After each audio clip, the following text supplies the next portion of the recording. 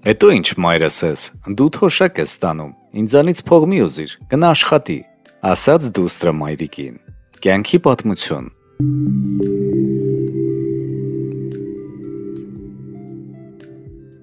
Հարևանուհիս թոշակառու է, առողջական խնդիրներ ունի։ Մի կերպ է գոյատևում։ Նա մի աղջիկ ունի, ամուսնացած է։ Ամուսինը բավականին ապահոված մարդ է, լավ վաստակում է։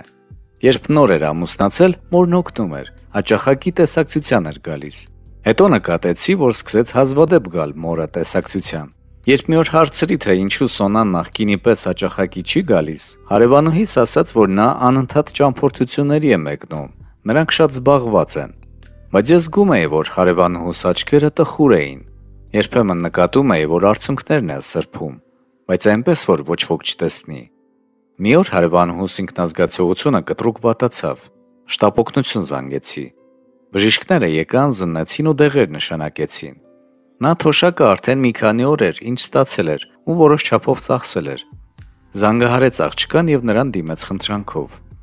Աղջիկս, ես պետք է դեղեր գնեմ, բայց գումարս չի բավականացնում։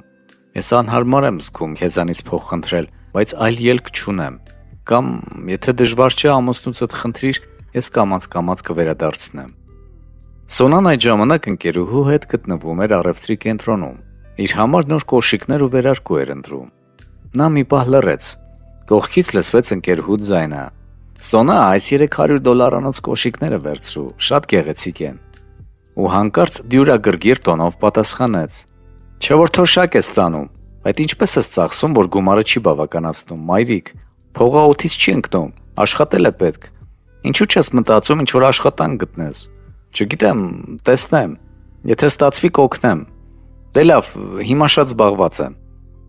Աղջիկս ես սիրով աշխատանք կգտնեի, սակայն առողջական վիճակս չի ներում։ Ասացի խանգարում ես, ասաց նա ու անջատեց։ Ես անկեղծ ասած տեղս չէի գտնում։ Ես տեսել եմ, թե ինչ դժվարությամբ է աղջկան մեծացրել։ Ու հիմա աղջիկը ինչ որ կոշիկներ ու վերարկու ավելի է գերադասում, քան մոր առողջությունը։ Չդիմացա, Ես ճանաչում էի Սոնայի ամուսնուն։ Գնացի նրա մոտ ու ամեն ինչ պատմեցի։ Խնդրեցի նրան ոչինչ չասել Սոնային, ուղակի օգնել կնոջը։ Սոնայի ամուսինը շատ ազնիվ ու առաքինի մարդ է։ Նա Սոնայի մորը տեղավորեց հիվանդանոցում, վճարեց բուժման համար, ապահովեց այն ամենով, ինչ անհրաժեշտ էր։ Հաջորդ օրը ես ապուր էի պատրաստում, որ գնայի հարևանուհուս տեսակցության։ Հանկարծ դրան զանգը հնչեց։ Սոնան էր։ Ներեցեք, չգիտեք մայրս որտեղ է, զանգում եմ չի բացում։ Չեմ հասկանում ուր պետք է գնացած լինի։ Շատ դյուրագրգիռ տոնով հարցրեց նա։ Հիվանդանոցում է, ասացի ես։ Չնայած որ չէի ուզում երեսին նայել։ Աստորեն հիվանդանոցում բուժվելու գումար ունի։ Մեր դեպքում ինչու էր ինձանից փող ուզում։ Երևի մտածում է մեր փողն այնքան շատ է, որ չգիտենք որտեղ ծախսենք։